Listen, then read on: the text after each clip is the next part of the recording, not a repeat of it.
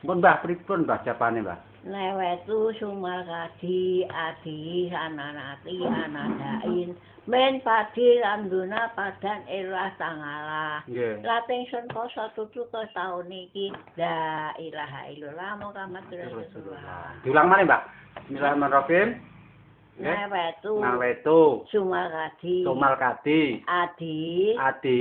sananati Tananati. anadai Anadai. Men padi landuna padat ilah sangala lating sun poso tutu ke taun iki la ilaha illallah Muhammad Rasulullah Berarti nawetu sama kadi. adi Adi. Sananati. anadai Anadai. men padi landuna Min parti romdana. tangala Salah. lating sun poso tutup taun iki Nggih. la ilaha illallah Muhammad Rasulullah La ilaha illallah ki aja lali Oh, nggih nggih nggih nggih. sing mesti ha ilaha illallah Nggih nggih nggih nggih. Berarti kudu dieling-eling Mbah sing pokok niku nggih. heeh Hmm. La ilaha illallah ki kudu dieling-eling Nggih nggih. Kuwi zamane wong mlaku Hmm. ya wong mlaku drinjing le dalane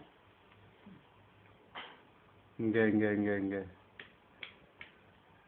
nek liyane kok sambungane monggo Hmm. anu kembangane Nggih, kersane marem ngoten Mbah nggih.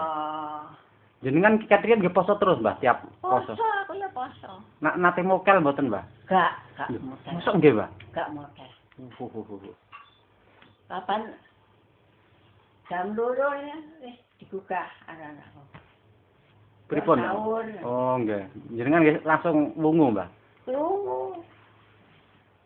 Terus tak pangan telung rong pulang terus tak japane. Japane nggih niku wau. Heeh. Hmm. Kok ya sik apal to Mbah japane jenengan? Ijek. Kemudian sing nguruke yo bakil tubuh manuk santri ini. Oh, wekdal ten Saben. Heeh. Iki kalih tunggu kalih tunggu manuk diwarai niku. Heeh, padha tunggu manuk. Bakil, bakile Pak Bayan. Sakniki tasik Pak Bakir. Bakil jare Mas.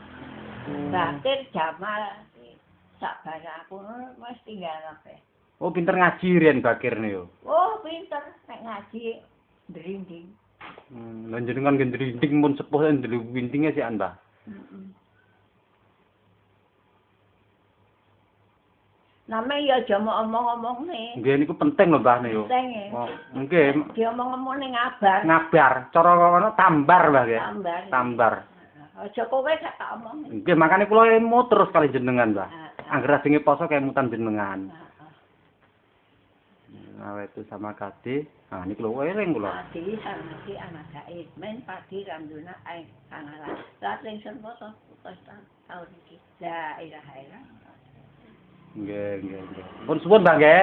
Wes sapal. Nggih. Aku nek jomohi wong ngono sapal.